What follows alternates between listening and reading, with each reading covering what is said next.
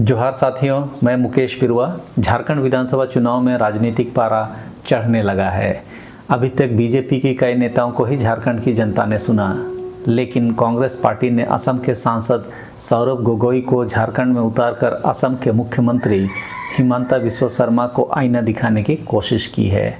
सौरभ गोगोई ने कहा कि हिमंता विश्व शर्मा राजनीतिक पर्यटक हैं। बाहर से आया हुआ राजनीतिक पर्यटक जी झारखंड के लोगों को धूमिल नहीं कर सकते। और झारखंड के भोले भाले आदिवासियों को ठगने के हैसियत से दौरा कर रहे हैं।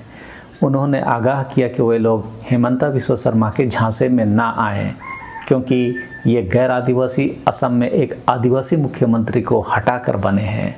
यह आदमी असम की अफवाहों को झारखंड में फैलाने के लिए लगाए गए हैं। उन्होंने सवाल पूछा कि क्या असम में एनआरसी हुआ? असम में क्या एनआरसी लागू हुआ? जो यहाँ पे कहते हैं कि एनआरसी लागू करेंगे क्या असम में एनआरसी लागू हुआ? उनके पूछने के लहजे से लग रहा है कि जो एनआरसी हुआ है वह सिर्फ़ मुसलमानों को तंग करने के लिए प्रयोग हुआ है। जो हिंदू हैं, उन्हें किसी न किसी तरीके से एनआरसी के अंदर लाकर उन्हें भारत की नागरिकता दे दी जा रही है। यही कारण रहा है कि सुप्रीम कोर्ट को अपनी निगरानी में एनआरसी करवाना पड़ा, जबकि उसके लिए एक अलग इकाई बनाई गई थी। जो भी एनआरसी के नाम पर भाजपा ने वहाँ तांडव किया, वह मानवीय तो बिल्कुल भी नहीं है, और असम की जनता अभी भी पूछ रही है कि क्या एनआरसी वहाँ हुआ है? यहाँ पर आपको एक आदिवासी होने के नाते एक महत्वपूर्ण चीज़ समझने की बात है। बांग्लादेश से घुसपैठ करके काफ़ी संख्या में लोग असम के आदिवासी इलाकों में रहने लगे। झोपड़ बनाकर या खुले आकाश में ही यहाँ वहाँ बांग्लादेश से भागकर रहने लगे। एक समय में उनकी संख्या दिखने भी लगी। तो असम के आदिवासियों ने इस बात से विरोध किया कि वे लोग एक तो इनकी ज़मीन पर अवैध रूप से रह रहे हैं और दूसरा उनके कारण उनकी संस्कृति को खतरा उत्पन्न हो रहा है, चूँकि उनकी भाषा, उनका पूजा पद्धति सब दूसरा है। इसी के मद्देनज़र एनआरसी की ज़रूरत महसूस की गई और जब तक एनआरसी शुरू होती, तब तक भाजपा का शासन राज्य में आ गया। उन्होंने एनआरसी के नाम पर मुसलमानों को तो एनआरसी से बाहर कर दिया, लेकिन जो 19 लाख लोग हैं, जो एनआरसी से बाहर हो गए, उन्हें अलग अलग प्रक्रियाओं का इस्तेमाल करते हुए एनआरसी के अंदर ले आया गया और उन्हें उन्हीं जगहों पर बसाया जहाँ वे लोग पहले से रहते आ रहे थे, यानी कि आदिवासियों के जगहों पर मुसलमान तो एनआरसी से बाहर हुए, लेकिन लाखों लोग, तकरीबन 15-16 लाख लोग जो विदेशी हिंदू थे, आदिवासियों के जल, जंगल और ज़मीन पर अपनी हिस्सेदारी शेयर कर रहे हैं। झारखंड में भी यदि ये लोग एनआरसी करवाएँगे तो जो भी हिंदू घुसपैठिए हैं, उन्हें ये लोग एनआरसी के अंदर ले लेंगे। और रघुवर दास के समय में जो लैंड बैंक बनाया गया था, हिंदू घुसपैठियों को आवंटित की जाएगी। आदिवासी इलाकों में इस तरह से गैर आदिवासियों की जनसंख्या बढ़ाई जाएगी और आने वाले समय में परिसीमन में आदिवासी सीटों की संख्या को कमतर किया जाएगा। बहुत सी विसंगतियाँ हैं, उसे आने वाले समय में हम लोग ज़रूर चर्चा करेंगे। लेकिन इस समय जो बातें सौरभ गोगोई ने कही, उसके पीछे की मंशा यही बताती है। वास्तव में इस समय झारखंड राजनीतिक पर्यटन का केंद्र बना हुआ है। ये लोग झारखंडी संस्कृति को, जो प्रकृति के अनुकूल है, में विष फैलाने में लगे हुए हैं। ये लोग आपस में बैर करना सिखा के जा रहे हैं। ये लोग तो भूल जाएँगे, लेकिन झारखंड की भोली भाली जनता एक दूसरे के प्रति हीन भावना को, एक दूसरे के प्रति दुश्मनी के रूप में जारी रखेंगे, जिससे झारखंड की झारखंडी संस्कृति को ही नुकसान होगा। इसीलिए ज़रूरी है कि हम आप अपने रिश्तों के बारे में संजीदा रहें और एक दूसरे का सम्मान करें। झारखंड में आकर हिमंता विश्व शर्मा जनजातियों के हित की बात कर रहे हैं, लेकिन खुद वे एक जनजातीय मुख्यमंत्री सर्वानंद सोनोवाल को हटाकर बने हैं। उन्होंने कहा कि सर्वानंद सोनोवाल काफ़ी लोकप्रिय नेता हैं, लेकिन आदिवासियों की लोकप्रियता भारतीय जनता पार्टी को नहीं सुहाती है। इसी कारण से उनके मुख्यमंत्रित्व काल में हुए चुनाव में जीत के बाद भी शिवराज सिंह चौहान की तरह मुख्यमंत्री पद से उन्हें हटा दिया गया।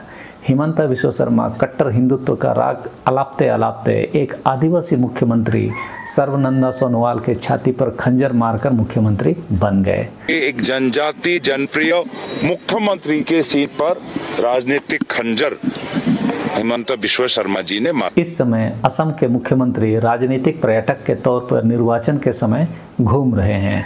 उन्होंने यह भी स्पष्ट किया कि जो घोषणा पत्र झामुमो और कांग्रेस का आ रहा है, उसे जनता के काम को ही आसान बनाया जाएगा। मतलब जनता के कंधों को मज़बूत बनाने के लिए वह घोषणा पत्र आ रहा है।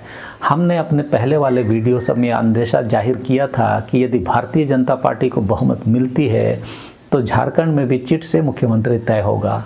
और बहुत उम्मीद है कि कोई गैर आदिवासी ही मुख्यमंत्री होगा।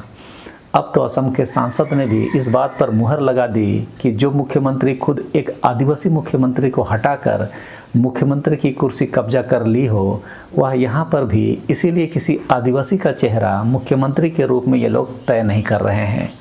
जबकि झारखंड के चार चार पूर्व मुख्यमंत्री भाजपा में हैं जो आदिवासी हैं। जो हालात अभी झारखंड में भारतीय जनता पार्टी ने पैदा किए हैं वह स्पष्ट संकेत दे रहा है कि भारतीय जनता पार्टी को यदि बहुमत मिलता है तो झारखंड का अगला मुख्यमंत्री गैर आदिवासी होगा। चंपई सोरेन के बेटे को टिकट दे देने के बाद, अब चंपई सोरेन का मुख्यमंत्री बनने का कोई चांस नहीं है। अर्जुन मुंडा खुद चुनाव नहीं लड़ रहे हैं। उनकी पत्नी चुनाव मैदान में है।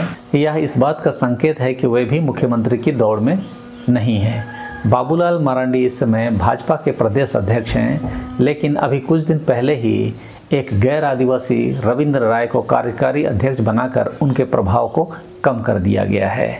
यह भी इस बात का संकेत है कि बाबूलाल मारंडी भी मुख्यमंत्री की दावेदारी में नहीं है।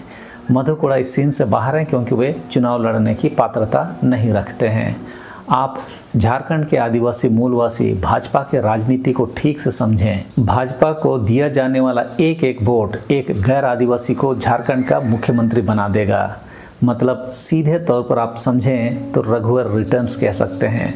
और ऐसा होता है तो फिर से सीएनटी एक्ट एसपीटी एक्ट में संशोधन के विरुद्ध लड़ाई, गोड्डा में आदिवासियों की ज़मीन अडानी को रघुवर दास नहीं दी थी। इसका मतलब उनमें पात्रता कूट कूट के भरी हुई है।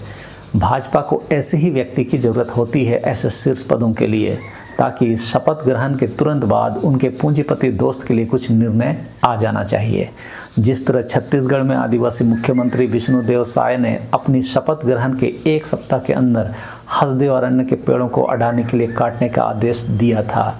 मार्के वाली बात यह है कि जब विष्णुदेव साय ने हसदेव अरण्य के जंगलों को काटने का आदेश दिया था, उस समय तक उनकी मंत्रिमंडल भी गठित नहीं हुई थी। और इसी तरह की पात्रता रघुवर दास में भी है। खैर आप सभी लोग इन राजनीतिक पर्यटकों का क्या करेंगे, ये मैं आप पर छोड़ दे रहा हूँ। उधर हेमंत सोरेन ने भी हेमंता विश्व शर्मा पर आरोप लगाया है कि झारखंड के लाखों आदिवासी सदियों से असम के चाय बागान में काम करते हैं, लेकिन वहाँ हेमंता विश्व शर्मा की भाजपा सरकार ने उन सभी आदिवासियों की पहचान खत्म कर दी है। उनका अस्तित्व खतरे में है और यहाँ झारखंड में आकर ये लोग झूठ बोलते हैं। भाजपा का मतलब ही है बड़का झूठा पार्टी। वही बात मेरे विश्लेषण में भी आ रहा है कि हिमंता विश्व शर्मा असम में आदिवासियों के अस्तित्व के साथ खिलवाड़ तो कर ही रहे हैं। उनके अधिकारों को भी समाप्त किया जा रहा है। ऊपर से एक आदिवासी मुख्यमंत्री का अस्तित्व भी उन्होंने ही समाप्त कर दिया। और यहाँ आदिवासियों को अधिकार की बात कर रहे हैं। हेमंत सोरेन ने यह भी आरोप लगाया कि केंद्र सरकार के हाथों में संस्थाएँ कठपुतली की तरह नाच रही है। ये संस्थाएँ जब चाहे, जैसा चाहे, जिसे चाहे, आदेश सुना दे रही है। खैर, कोई बात नहीं, ये संस्थाओं को तो खरीद लेंगे, लेकिन जन समर्थन कैसे खरीद पाएँगे?